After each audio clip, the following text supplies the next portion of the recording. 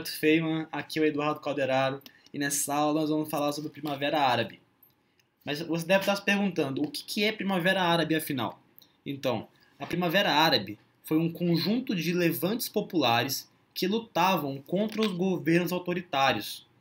Governos autoritários dos países do norte da África e também do Oriente Médio. É, nesse vídeo eu vou falar sobre quatro países três do norte da África e um do Oriente Médio. Vou falar sobre a Tunísia, a Líbia, o Egito e a Síria. Eu vou falar apenas desses quatro porque são os quatro mais relevantes e onde aconteceu uma maior perturbação. Porém, existiam países, diversos outros países, que também sofreram influência desse movimento. Entende? Primavera árabe significa o florescimento. Primavera é florescer, é você dar origem a novas ideias, a uma nova época, uma época com uma nova dinâmica de política, entende? É, novos pensamentos, uma nova ideologia, de forma geral.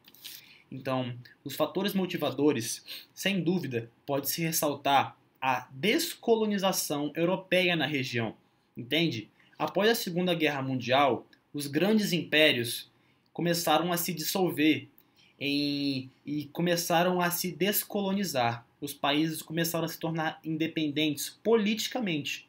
No caso desses países aqui, a economia desses países era completamente dependente desses antigos colonizadores, entende? Então, qualquer flutuação na economia desses, desses antigos colonizadores, como a França, como a Itália, como a Inglaterra, é, é, resultaria em uma grande crise nesses países, entende? E foi o que aconteceu posteriormente. Já chegamos lá, entende? É, nesses países, de forma geral, pode-se ressaltar os governos autoritários que se estabeleciam na região. Esses governos autoritários, eles respondiam diretamente aos presidentes europeus, servindo como se fosse um fantoche, entende? Então tudo que esses presidentes europeus ditassem, esses governos fantoches deveriam, de certa forma, acatar. Entende? Como eu falei anteriormente, eles eram completamente dependentes da economia desses grandes países, entende? Pode-se ressaltar também que durante o processo revolucionário e antes mesmo dele acontecer, o principal modo e meio de comunicação foi a internet, entende? Então, é, é uma, algo bem recente, aconteceu cerca de 10 anos atrás, entre 2010 e 2011. No caso da Síria, acontece até hoje a guerra, de, a guerra, de a guerra civil. Então, o principal meio de disseminação do movimento foi o Facebook. Algo interessante, né? Então, durante a crise econômica de 2008, que aconteceu nos Estados Unidos, que refletiu duramente na Europa e que como esses países eram muito dependentes da Europa, esses países simplesmente faliram. Eles estavam muito mal economicamente, entendeu? E isso foi um combustível para o levante popular. As pessoas já não estavam satisfeitas com a economia de, em, em decadência, que elas não tinham dinheiro nem para sustentar o básico. É, os movimentos vão começar a florescer, entende? O estopim o, a faísca no, no barril de pólvora foi o suicídio de um vendedor de fruta, que estava só vendendo fruta na praça e vieram policiais cobrar impostos a ele, e ele sem condição de pagar e cansado de toda aquela aquele aquele caos que estava perdurando no país, tocou fogo em si mesmo. Isso aconteceu na Tunísia, que foi o país onde foi a, a origem de todo o movimento, entende? No caso da Tunísia, vamos entrar agora, em questão de minutos, já houve um levante popular, as pessoas começaram a protestar, entende? E em questão de dias, semanas, houve a queda da monarquia que lá se constituía, entende? Esses revoltosos pregavam por uma liberdade. Liberdade essa que nós vamos ver daqui a pouco, que nenhum desses países atingiu de certa forma. Eles apenas trocaram os, os antigos ditadores por novos, entende? No caso da Líbia, que foi o país vizinho, que é o outro que nós vamos ressaltar aqui, aconteceu um, um pouco diferente. a Líbia é um ponto estratégico, porque ela está debruçada sobre o mar Mediterrâneo e, além disso, ela também possui uma enorme quantia de petróleo no seu território. Então, países grandes como Estados Unidos, Inglaterra, França estavam muito interessados nesse petróleo. E vendo isso como uma oportunidade, esses países, é, através da organização do Tratado do Atlântico Norte, a OTAN, financiavam de forma indireta os revoltosos, entende? Então os revoltosos é, foram financiados pela OTAN para poder tomar o, o, o poder da, do país e que foi realmente tomado.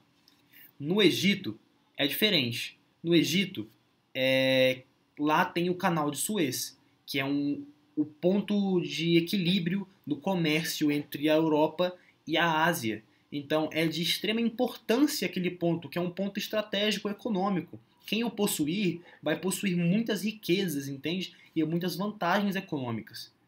Então, é, um governo autoritário de Mubarak foi deposto pelos revoltosos e a Irmandade Muçulmana foi imposta. Essa Irmandade Muçulmana também já não era aquelas coisas que começaram nos, em, em, poucas semanas a demonstrar sinais de, de autoritarismo de novo. E, além, e depois disso, esses, essa Irmandade foi deposta e foi é, botada no lugar o Al-Sassi, que, afinal, de, afinal das contas, se tornou um ditador, entende? Então, no, no processo que acontece nesses países, é, você está trocando apenas seis por meia dúzia, de certa forma. É, ok. No caso da Síria, vamos entrar agora com bastante calma, que é um caso à parte que até hoje ele está perdurando. A guerra civil é, da Síria começou mais ou menos em 2010, 2011 e até hoje está perdurando.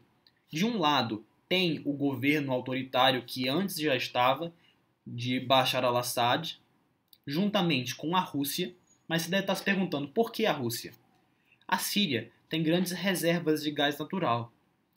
E a Rússia, que fornece todo o gás natural para a Europa. Então, se a Síria cair nas mãos de potências europeias, o preço do gás natural russo vai abaixar muito, entende?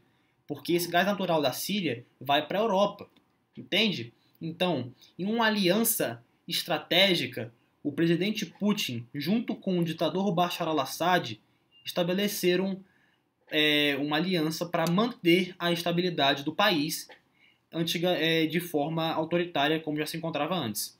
E de outro lado, existem movimentos extremistas como o Estado Islâmico e a Al-Qaeda, juntamente com os Estados Unidos da América. Entende? Então, é...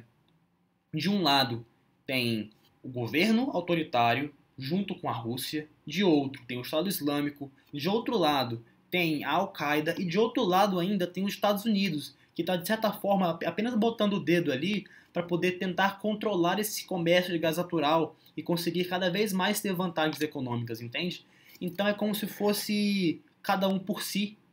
Então, esses, esses revoltosos não virou uma guerra convencional, não virou uma guerra apenas bipartidária, onde existiam dois lados, um querendo derrotar o outro. Existem agora quase quatro, entende? O governo, a Al-Qaeda, é, o Estado Islâmico, os Estados Unidos, entre outros grupos também.